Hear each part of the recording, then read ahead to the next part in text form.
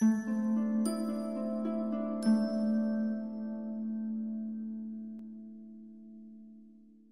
YouTube, my name is Light Maloy and today we're talking about the CompTIA uh, A Plus Core 2 test. Now previously I made a video about the Core 1 test. If you're interested in that, go see that video. But today we're talking about Core 2. So let me give you about my background. Okay, I took the CompTIA IT Fundamentals back in like March I passed it. I don't know if I really recommend that one. That's more for like basic entry into it, like you know, like people not familiar with computers, maybe like you know, high school kids, something. But uh, I did it because I wanted to go through the steps of taking certification tests because I've never done it. I never worked comp CompTIA. I done college and I did a couple online classes so then we take the core one, and the core one of the A plus is, you know, it's it's basically have to do with like ha- hardware and stuff. And I know that, and the fundamentals pretty easy. The other thing on that one was database, but uh, CompTIA A plus two core two, it's software. I don't know software. My background is screwing around with computers, playing video games, being a gamer, and then building, you know, computers and screwing around with like video equipment. I don't know that much about operating systems. I barely know anything about Apple other than like their Mac, and you know you gotta buy that. I don't know a beeping thing about Linux.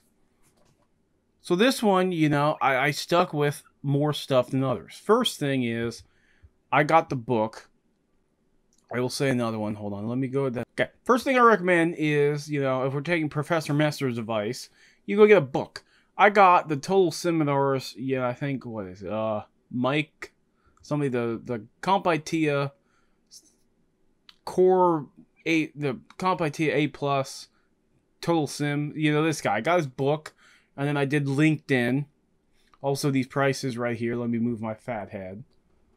Um, there. Okay, these prices right here. I highly recommend that you you know you don't do that. You wait till there's a sale.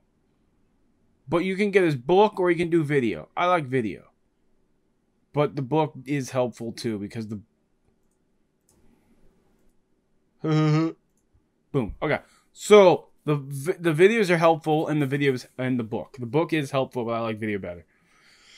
If you want to, you can take a you can do a free trial on LinkedIn, but make sure you cancel it or do the one month thing because uh I did that and I didn't cancel it, so now I'm paying a year of uh LinkedIn. But it's nice because I got to do the books and there's other stuff on there. But yeah, I highly do that or get a book.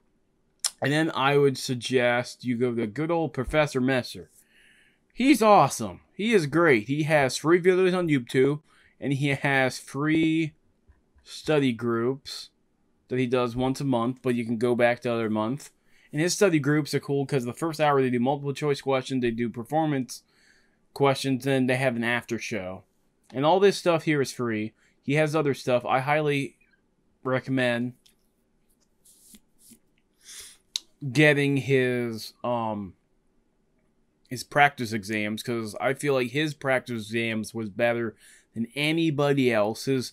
Also on Core 2 I got his course notes. I didn't do his course notes for Core 1 because I didn't think I needed them but I needed it for Core 2, and it might have been good to get Core 1, and plus they have bundles and stuff.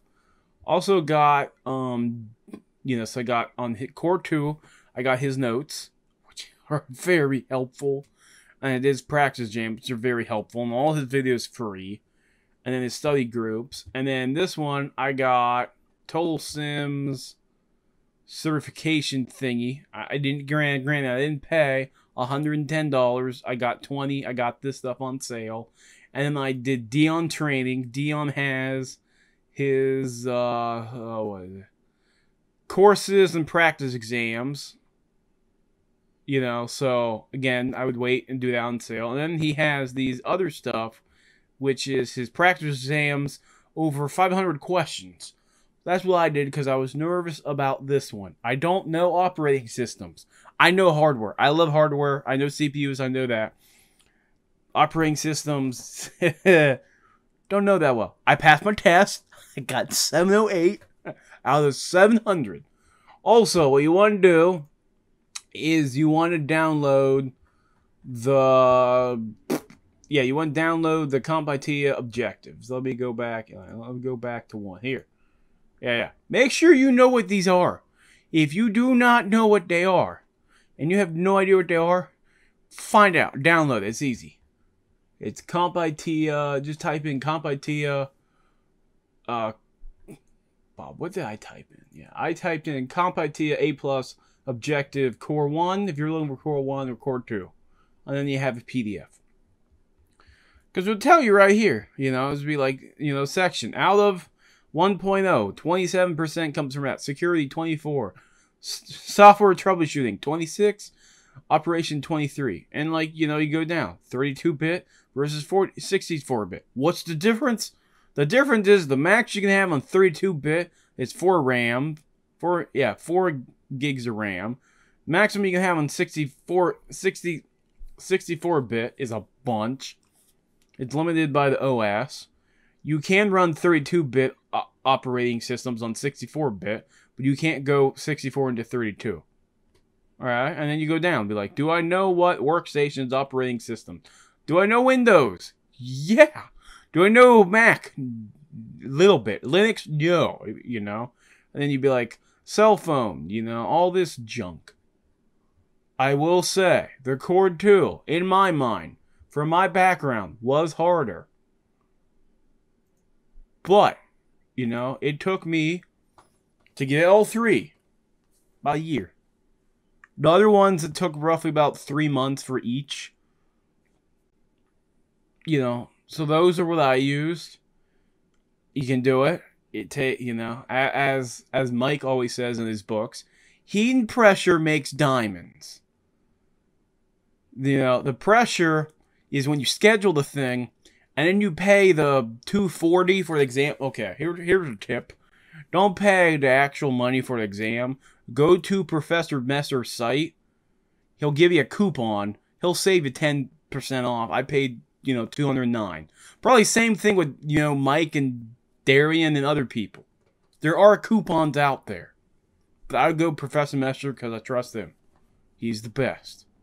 You know, please like, comment, subscribe. I'm I'm recording, I'm like two or three subs away from 4,000. The last year has been slow making videos. I'm working on these stupid tests. They're done. I'm ready to talk about tech and play video games. And maybe if you follow there, it'll comment below and stuff. But for the um for the core two exam, you know, I say in core one, you gotta know your port numbers you got to know the steps of troubleshooting through the malware system. You know, what is it? Seven? Uh, I can name you. I, I, I studied. First thing is, if anything weird, you know, you got to check anything weird. Second is, once you, you got to find symptoms. Second thing is, you quarantine it. Third thing is, you disable restore. Fourth thing is, you remediate it and then update stuff. And then fifth is you update the operating system and then you schedule scans. Six is you enable restore. And seventh is you educate then user so you don't have to do this again, but you do it in a nice way. Because if they click on the link again, you're going to be in this mess again. So if you can educate the user, that would be nice. Again, the weakest thing in the company is not the hardware, it's the users. And if you can educate them, it'll save you and the company a lot of money, especially you, because you can, you know, because it's not fun to be like, okay, I got you downloaded this, Jim. There's a Trojan horse. What did I tell you last time? If it looks odd, don't do it. Well, the same thing, you know, yeah. So please like, comment, subscribe if help you. Leave a link, leave a like, comment, you know, subscribe, subscribe. Uh, we might make more content, but we did, you know, the core two, the core one. I can talk about the CompTIA IT fundamentals. I, I, yeah, I could. Don't really, you know, I could. Have a lightning full day. Bring home the hardware. Lightning out. I'm playing games. Man, games! Study, study, then play games.